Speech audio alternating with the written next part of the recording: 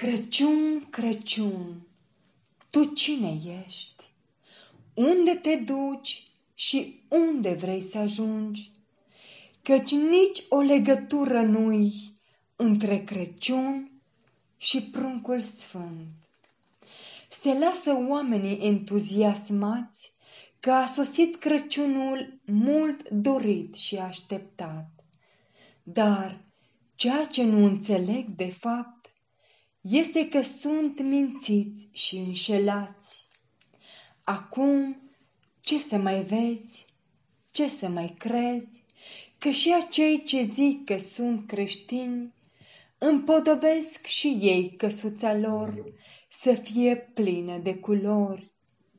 Am devenit și noi ca și păgânii sau poate chiar morminte văruite, și ne mândrim zadarnic, frați, cu nume de penticostal.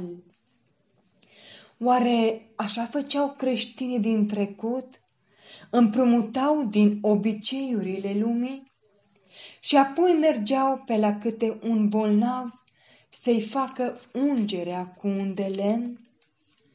O, nici de cum nu se încurcau cu lucrurile lumii ci ei în miez de noapte se strângeau și în rugăciune stăruiau.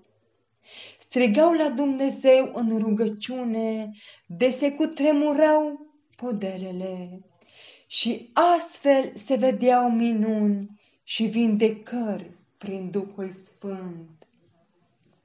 Era o splendită prezență când Duhul Sfânt se cobora, încât toți trăsăltau de bucurie, cântând Osana, Aleluia! Creștinii noștri de pe vremuri, pe sub pământ zideau altare, iar noi, cu atâta lux în adunări, inima ne este tot mai goală la curtea de justiție cerească, vom da răspuns de-a noastră fără de lege și nici o scuză nu avea în fața tronului suprem de judecată. Ascultă glasul blând ce-ți spune, depărtează-te de obiceiurile lumii, ferește-te de sărbători păgâne, de datini și obiceiurile lumii. Va fi odată prea târziu.